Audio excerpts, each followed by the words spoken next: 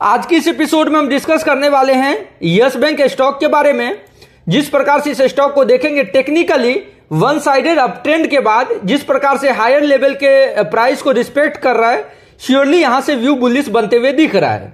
एक breaking news आज के ट्रेडिंग सेशन में ट्रेड होते हुए दिखी, जो कि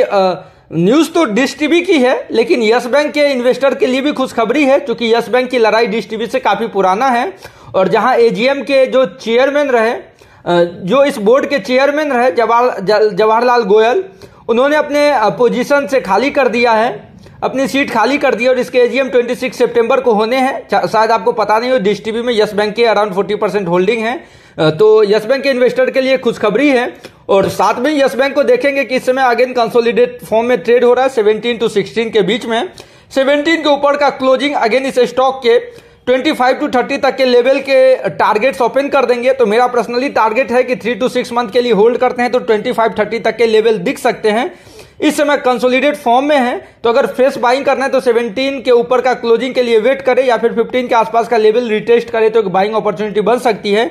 और डिश टीवी में भी ट्रेंड कंटिन्यू हो सकता है, और यहाँ से भी देखें तो around twenty to forty percent तक के रिटर्न डिश टीवी के प्राइस में भी दिख सकता है।